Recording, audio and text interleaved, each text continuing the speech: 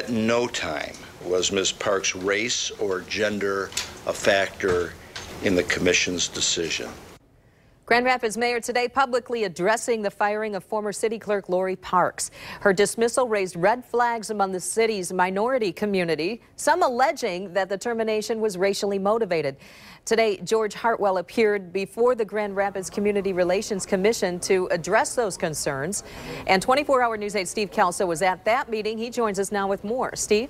Sue, the chair of that commission maintains that Park's departure has driven a rift between the city's minority community and city leaders. Lauri Parks' $95,000 a year employment contract with the city was not renewed in early October. The mayor and the city commission have always maintained that Parks was fired after years of poor performance review. Commissioner James White concluded she simply was in over her head. Today, with City Attorney Catherine Mish at his side, the mayor laid out in great detail what he described as extraordinary steps that have been taken to allow Parks to remain employed. At one point, the city hired a private coach to help Parks' performance improve, but eventually they concluded that too little progress was being made.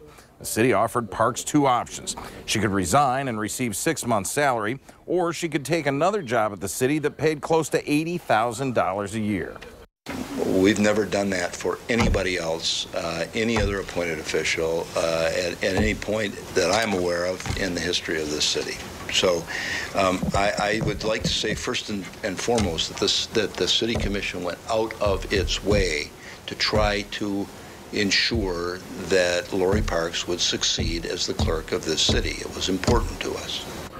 After the meeting was over, I asked the chair of the commission to help us understand by putting in perspective just how large the perceived rift is.